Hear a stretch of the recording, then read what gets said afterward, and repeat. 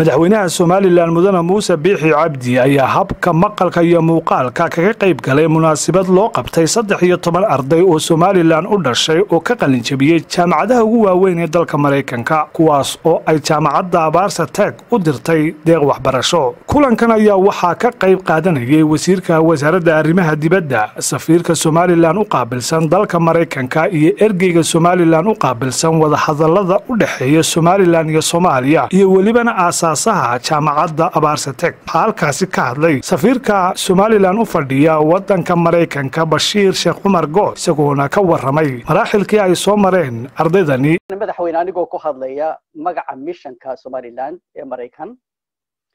iyo weliba magaca bulshada somaliland ee maraykan degan oo ay ka mid yihiin bahda abaarso. Waxaan kugu mahadnaqaynaa sida milgaha qiimaha iyo hagrasho la'aanta leh ee aad nooga ajiibtay inaad farxadda ardaydan soo qalin jabisay la wadaagto una tusto hanka iyo himilada dalku aasaasaha dugsiga abaarsatek jonaton steen graduate of the alumni graduating from these uh, universities all over the world to be able to be thanked by their own country, men and women. And most of all, I just want to say thank you that the president of Somaliland, uh, not just coming to thank you now, the fact that the president of Somaliland has done many events with Abarso students, he's come to Abarso. Um, u noo soo huray waayo tani annaga macwo weyn aad weyn bay noogu fadhidaa in aad maantana soo kasoo qayb gasho wasiirka wasaaradda arrimaha dibadda somalilan yaasiin xaaji maxamuud xiir faratoon oo isaguna ka hadlay ayaa waxa uu ka sheekeeyey ahmiyadda ay aqoonta u leedahay bulshada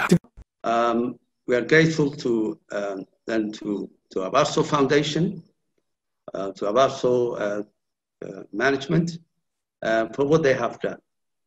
it's a beacon of, of improvement, of development for our country, and we value what they have. Done. I'm aware that the president has always been attaching great importance to, um, to, to Abaso, and he's participated or invited these students who are just graduated. Doctoreysa adna aadan ismaaciil ergeyga somalilan u qaabilsan wadahadalada somalilan iyo soomaaliya ayaa iyaduna dhankeeda waxay hambalyo u dirtay ardaydan. Ilaahay haydin garab galo hooyo ilaahay haydin la qabto. Sharaf iyo magac baad inoo soo kordhiseen. Ehelkii iyo ummaddii aad ka dhalateen iyo dalkiyagii dadkeenii somaliland dhammaanba iyagaad wax u barateen somaliland baad wax u barateen dadkaa aad ka timaadeen baad wax u barateen ilaahay garabkeenaha galo hooyo madaxweynaha jamhuuriyadda somalilan mudane muuse biixi cabdi ayaa ardayda reer somalilan ee ka qalinjabiyey jaamacadaha ku yaalla dalka maraykanka ku hambaliyeeyey dadaalada wax ku oolka ah ee ay sameeyeen. Waxaan aad iyo aada ugu faraxsanahay inaan ka soo qayb galo xafladdan ay ku graduate garoobayaan ardaydan sharafta leh ee virtualka ah. Marka aad iyo aad tahay aadna waa u faraxsanahay. Waxaan aad u hambalyeynayaa dhalinyarada maanta ka qalin jabinaysa jaamacadaha dhowr iyo tobanka jaamacadood ee ku yaalla dalka maraykanka waxaan u malaynayaa kolley adna inoogu xoogaalsan iyo wasiirka arrimaha dibadda ilaa lixdankii inaana dadka somaliland helin fursadda maanta aynu u helnay jaamacadaha dalka maraykanka tirada intaa leeg intii ka horreysay qolada iyo kuwa imika iman doona u malayn maayo inay hore u heshay somaliland fursadda kolka laga soo bilaabo intii aynu dowladnimada helnay ilaa maanta. Waxaan aad iyo aad u hambalyaynaya dhalinyarada. Aad iyo aad iyagoo yaryar tegay maraykan la kulmay dhibaatada gabadha iminka rabisa ay sheegtay oo arday wal oo dal ajnabiya tagaaba uu la kulmay. Waxaad aad u warsataan aadnaa oo kontamayadii markii dadka madow addoonsigu uu jiray dadkii yurub tegay ahaa waxyaalaha ay la kulmeen. Waxaa la mid ah qolooyinan ka mid ahay ama qaar inaga horreeyeen oo dalka ruushka hor madowba arag midowga soviet dad madowba arag dadku ama ay kaa cararayaan ama ay yaabayaan ama ay qaar qoreen ma ku taabanaa inuska kaa raaciyeen kara markaa dhibaatooyinkaasaanu dareemayno oo weliba keli ku ahaydeenoo waxaa odhan karaa xatii geesiyaan idinkay ku idinka horreeyey iyo kuwa dambaba aad iyo aad baan idin hambalinaya aad ba ugu faraxsana mahadnaqa iyo farxadda iyo hambalida waxaan aad ugu mahadnaqayaa jonathan iyo dadkii la shaqaynayay waxaan aad ugu mahadnaqayaa on behalf anoo ka wakiila qaranka somaliland oo dhan. Dadkii hawshaa noo qabtay ee carruurtaysaa wuxuu baray xaaladdaa adag qof kasta oo ka qayb qaatay aad iyo aad baan ugu mahadnaqayna waxaanu u sheegaynaa jonathan iyo dadka la shaqeeya iyo ciddii wax u qabata iskuulka abaarsotek iyo jaamacadda kale imka ay ka fureen ballaygacaas iyo iskuullada imika ay ka furi doonaan magaalooyinka elementariga iskuullada hoosa waxaan u ballan qaadaynaa wax kasta oo tamarteeda inaan la garab taagannahay